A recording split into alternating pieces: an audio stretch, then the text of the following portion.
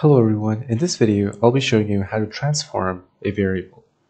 So let's go to variables, select the variable, and then we can press transform. Once we've pressed transform, we could go down and select using transform, and here we can create a new transform. And here I can rename this transform to uh, multiply by 2.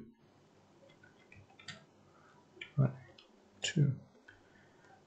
And what I'll do here is multiply the source, uh, the variable, the actual variable, the original variable, by 2. So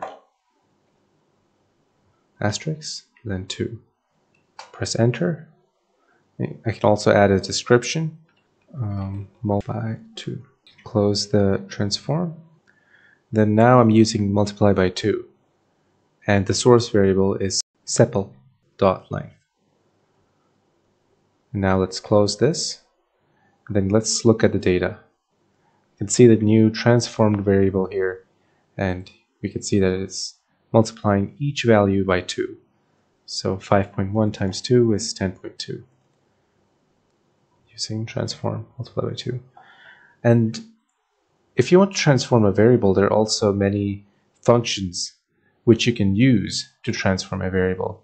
So let's transform the same original variable again using a different uh, method. So let's press down, press on this uh, drop down menu, and then we can perhaps take the log of the variable.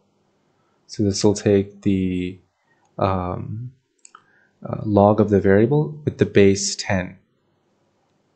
So me just double click on this and then I can just copy the source, paste it inside and press enter and I'll name it log of variable. Close it.